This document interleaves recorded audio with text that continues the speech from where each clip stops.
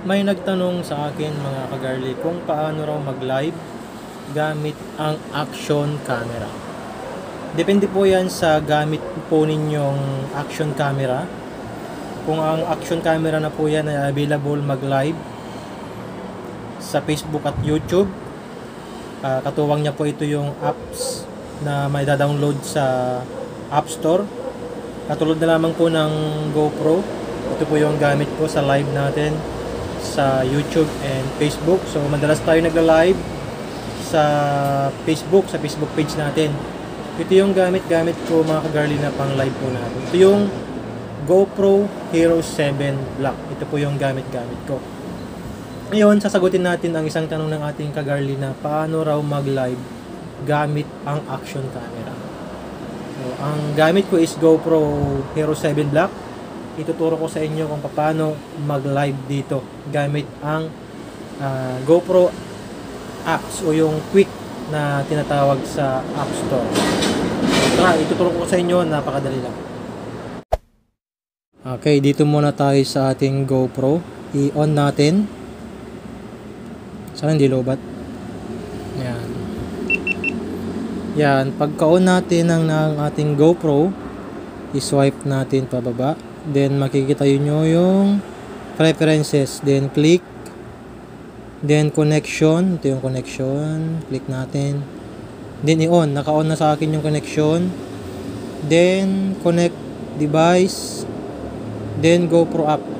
So kapag nandiyan na tayo, punta naman tayo sa ating cellphone sa apps.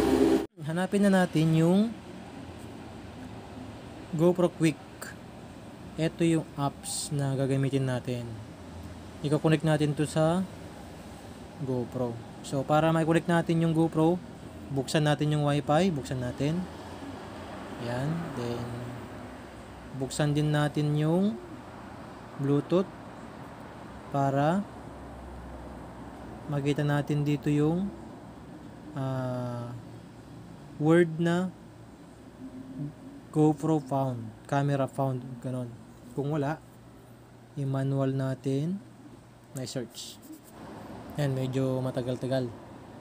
Yan, nakita niya. We found your GoPro, then connect.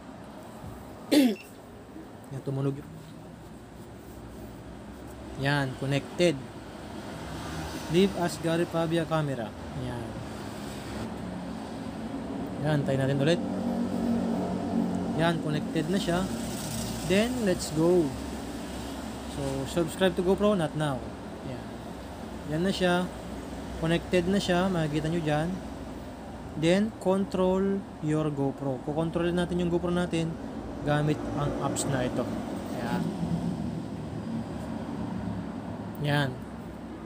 Yan lang tayo ulit. Nakikita tayo dito sa camera. Yan. So, yan. I-set up live natin ulit siya. Play natin yung Facebook. Then, nakikita nyo dyan yung aking ano, ah, Facebook page. Then, choose natin only me. Then, select your, i-connect mo yung GoPro sa network. I, i, ah, pwede natin sa hotspot yan. Ang password ko pala is ito. Ito yung password ko sa aking hotspot. Ayan. So, hotspot lang po yan ha, mga kagarli yan. So, try natin ng only me din. Yung description nyo, depende sa inyo. Yan, then kapag nakaset up ka na, then i-click mo tong continue sa baba. Yan, loading siya.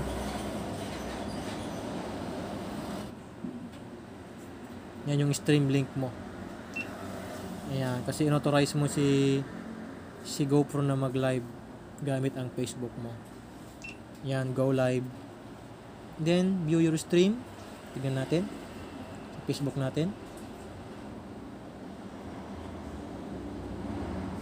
Ayan, live natin live natin sa Facebook. So, ganun lang kasi po yung pag uh, up na. So yun guys, ganun lamang po kadali ano, mag uh, or mag-ayos ng Facebook Live. Kung gagamit po kayo ng action cam, katulad ng GoPro Hero 7, napakadali lamang po at uh, sana'y meron kayong nakuhang idea kung natuto kayo sa aking isinare na video kung paano mag-live sa kung paano mag-live sa Facebook gamit ang GoPro Quick at ang inyong GoPro Action Camera. Salamat sa inyong panonood.